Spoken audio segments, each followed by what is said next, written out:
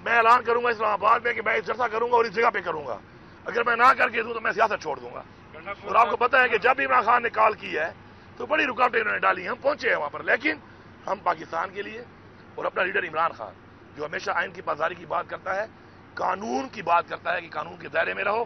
یہ ثابت کاری ہے چیز کہ ہمارے پاس شکر ہے، طاقت بھی ہے، عوام بھی ہے، جذبہ بھی ہے پوٹینشل بھی ہے، اہلیت بھی ہے اور وسائل بھی ہیں۔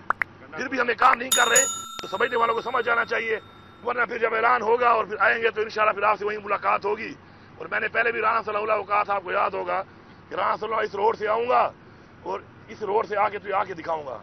تو چار جگہوں میں ڈکے مارے تھے اس کے بعد جو میں نے راستے میں حال کیا تھا، وہ ویڈیو آپ کے پاس ہے۔ اور وہ حال کر کے میں جو ڈی چوک پہنچ بھی گیا تھا، تو اس پر رانا صلی اللہ پھر کہیں چھپ گیا تھا۔